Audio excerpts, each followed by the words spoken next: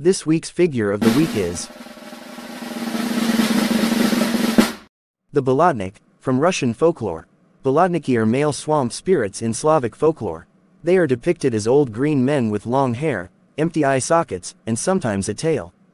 Their bodies are covered in dirt, algae and fish scales. Like most Slavic water spirits, they will drown passerby who are close to the edge, but unlike most Slavic water spirits, they have hallucinogenic powers. The Ukrainians believe that if a person approaches the swamp of a Bolotnik, they will experience psychedelic visions in which the creature offers them a room and treats them with food, gifts, and lively music. But when the person comes to their senses, they find themselves in the middle of the swamp and the gifts turn out to be garbage. The only way to get rid of a Bolotnik is to drain the swamp, or wait for it to freeze over in winter. Tune in next week when I post the next figure to be discussed. Stay sharp comrades.